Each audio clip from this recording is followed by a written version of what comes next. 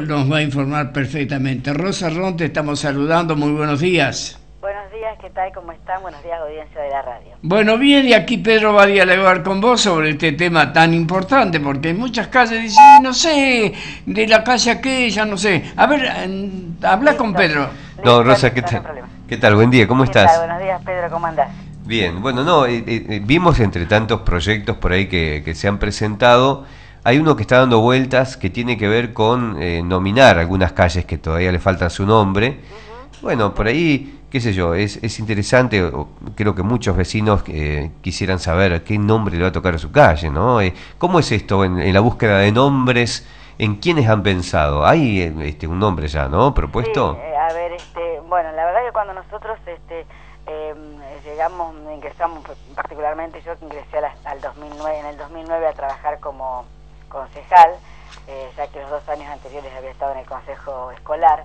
Eh, bueno, ahí comenzamos a ver en principio, y esto viene también de la mano eh, de la nueva urbanización que se comenzó a generar en, en Peguajó, en principio a raíz de los, de los, de los, de los tantos programas de, de, viviendas que tuvimos la suerte durante los 12 años de gestión este, kirchnerista de Frente para la Victoria que tuvimos suerte de acceder, ¿no?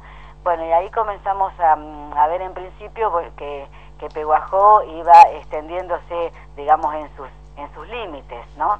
Eh, y aquellas este, viviendas que se iban eh, teniendo nuevos, nuevos asentamientos, eh, nuevos asentamientos, bueno, necesitaban nominalizar, nominalizar sus, sus calles para la cuestión de, de, los servicios sobre todo, bueno, y después que también la calle le da, el nombre de la calle, la denominación de las calles, le da también identidad al lugar donde vivís y para nosotros la cuestión de la identidad es, sumamente importante.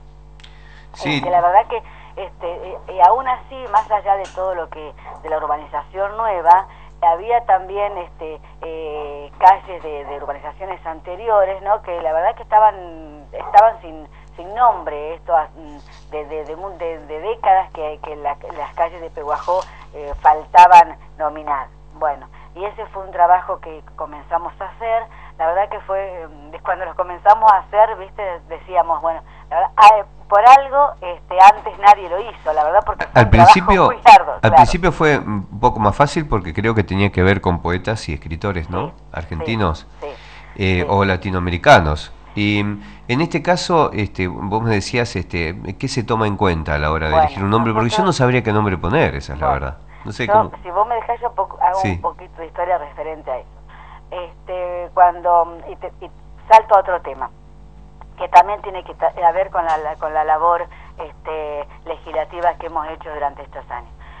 Cuando, mm, eh, cuando yo me pongo a trabajar en el proyecto del sitio de la identidad y la memoria, del hoy sitio de la identidad y la memoria, eh, comienzo a, leer este, el libro de Osvaldo Guglielmino, eh, Peguajó, nomenclatura de sus calles. Em, bueno, y ahí en el prólogo, y esto es muy interesante, y esto yo creo que los, sobre todo los chicos de las escuelas lo tienen que saber, en el prólogo de ese libro lo escribe Rafael Hernández, sí. Eh, que fue presidente del Consejo Deliberante. Sí. ¿No? Bueno, y en ese libro este, habla de la identidad de Peguajó. Y la identidad de Peguajó tiene que ver con esto, con este, con la, mm, con la mm, con la imposición de nombres a sus calles, y eso le da, le da la, la caracteriza de este, escritores y poetas. ¿Y qué nos dice Rafael Hernández en un discurso que, que, le habla a los chicos de las escuelas primarias de Peguajó? ¿eh? Sí, sí, sí, sí, sí, sí. Este, ¿Qué nos dice Rafael Hernández en ese discurso? Porque ese poeta este, y ese escritor que en, en, Peguajó tiene relación con los pensadores de Mayo, de la Revolución de Mayo, cada escritor y cada pensador desde su lugar y desde sus letras se transforma, este, más allá de poeta, escritor, se transforma en un militante. Y a mí eso la verdad que fue, mm, digo, bueno, tantos años, porque estoy hablando de un discurso de 1890, ¿no? De, la, de esa época. Y tratando de, ubicarnos un poco en el tiempo, o sea, el medio más importante para transmitir ideas o conocimientos era el escrito, ¿no? Exactamente. Era la forma y, y, y, después y el, y el, y como es más allá del saber del escritor o de, lo, o de, lo que, de la transmisión del escritor, el, el, rol que se da a ese escritor no pasa por la vida eh, porque sí más Ese escritor tiene una impronta en, cada, en, las palabras que está diciendo que tiene un impacto social y por eso desde ese lugar es, es, es, es un militante desde ese lugar. Es muy, muy interesante el, ¿no? La, la, la, comparación que hacía en ese momento este Rafael Hernández. Bueno, y nosotros para comenzar eh, cuando comenzamos a ver toda esta, este, tomar el plano de la ciudad de Peguajó y ver la cantidad de calles que, que, que no tenían nominación, que hasta ahora hemos hecho alrededor de 70 calles, hemos impuesto nombre alrededor de 70 calles, que es una, es una de las funciones del Consejo Deliberante. La imposición de nombres a calles, a paseos públicos, es una función del Consejo Deliberante neta. Sí. Eh, bueno, y entonces, eh, ¿qué asociación hacemos? Desde este pensamiento de Rafael Hernández allá por, por el 1900 a, este, a ahora, al 2000, al 2010, ¿no? Este, bueno, entonces tomamos eso. Bueno, vamos a continuar este, con nombres de, de escritores y de, y de pensadores del campo nacional y popular. Sí. Este, porque para nosotros eso, esas, esas personas son las que nos han transmitido al, este, a, lo largo de la historia, ¿no? Nos han transmitido y nos han, nos han marcado caminos a seguir. Sí, sí. Eh, ¿Tenés algún nombre ya en mente? ¿Ahí? ¿Tienen un nombre? Eh, nosotros, mira, eh, y sobre todo también, eh, te, viendo también algunas otras calles de Peguajó, también tomamos em, personas y mujeres y mujeres que tenían que, que han tenido que ver con la, con la lucha emancipadora de nuestra patria. Eh, a eso, a eso iba, eh, me hago una pregunta, ¿no, Rosa? ¿No hay muchos nombres? O sea, ¿Cuántas calles hay de que tienen nombre de mujer?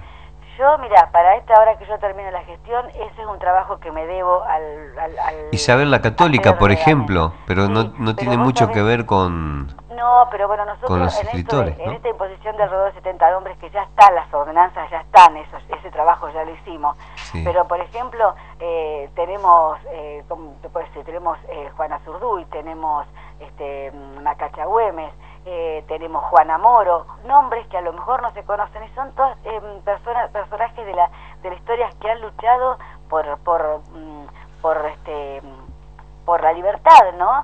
Eh, y, y, son muy muy interesantes también para que la tomen las, las, las escuelas y, y porque son anónimas eh, generalmente el que ha escrito mucho de eso es este es Felipe Piña pero estas mujeres son casi anónimas en la historia Rosa. en la historia oficial no nos pasan estos nombres claro bueno eh, eh, eso es lo que yo quería ver me parece pareciera no sé si es a, que a mí me parece no uh -huh. que eh, es un poco injusto en, en, la balanza la cantidad de nombres que hay de masculinos, ¿no? Bueno. Y la poca cantidad de nombres femeninos, ¿no? Pareciera como que el, eh, es muy machista la, la forma somos, de nombrar las calles, ¿o no? Eh, somos desde, el, o sea, la forma de nombrar las calles es un es es una de las conceptualizaciones machistas, pero la verdad que la sociedad nuestra es es absolutamente machista y en ese sentido es la lucha que tenemos este, las mujeres y que estamos llevando adelante y que y que y que ahora se hace más visible. En este ¿no? proyecto se va a romper con eso un poco entonces. En este proyecto lo que intentamos fue eso. Eh, esto te digo, ya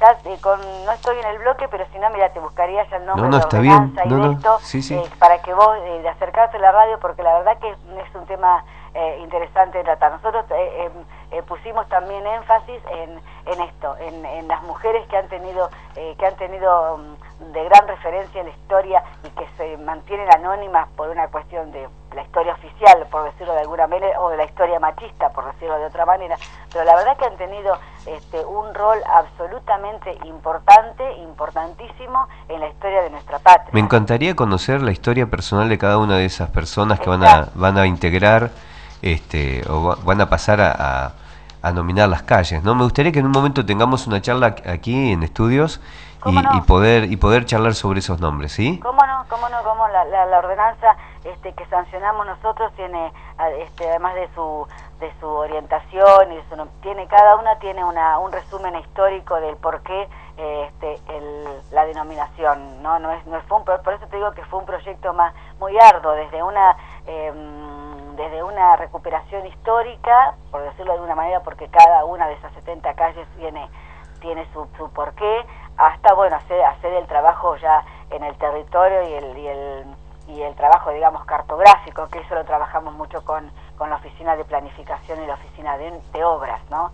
Eh, la verdad que fue para el, dentro de la gestión fue un, fue un trabajo eh, muy muy a mí la verdad que para mí muy interesante muy importante porque tener nombre eh, si vos tenés nombre en tu calle en tu calle en el lugar donde vivís bueno eso te da mm, eso sos alguien ahí en ese espacio no eso te da una identidad propia que no te la es, es, es, es inamovible es tuya yo siempre digo este, que, que, que, lo que lo que se conoce, lo que lo que tiene que ver con la historia, mientras vos más, las, más, más la conoces y más te la, la, la haces tuya, más la querés y, más cuidás tu lugar.